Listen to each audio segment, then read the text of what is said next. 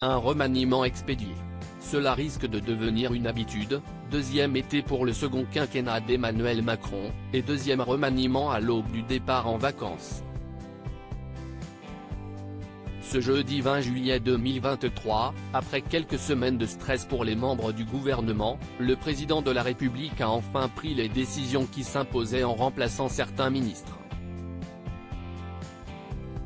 Le lendemain, place au Conseil des ministres, mais contrairement à la tradition, pas de photos de famille.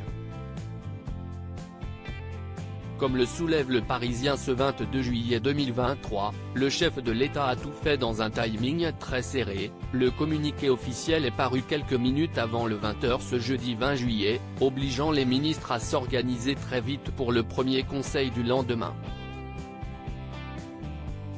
Avec les passations de pouvoir à organiser, pas le temps de poser à l'issue de la première réunion du gouvernement Borne 3.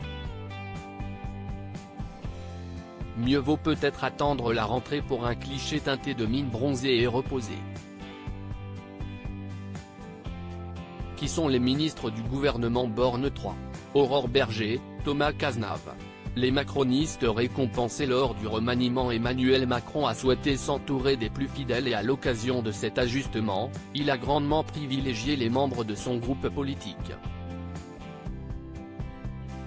présidente du groupe Renaissance à l'Assemblée nationale, Aurore Berger prend du galon avec le poste de ministre des Solidarités et des Familles.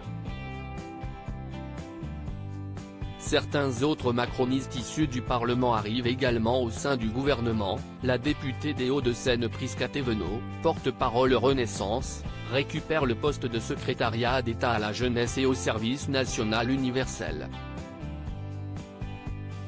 Thomas Cazenave, 45 ans, député Renaissance de Gironde qui siégeait à la commission des finances. Parmi les nouveaux entrants, Brigitte Macron voit même l'une de ses connaissances, Sabrina Agresti-Roubache, nommée en tant que ministre chargée de la ville. Crédit photo, Bakouni Nabaka.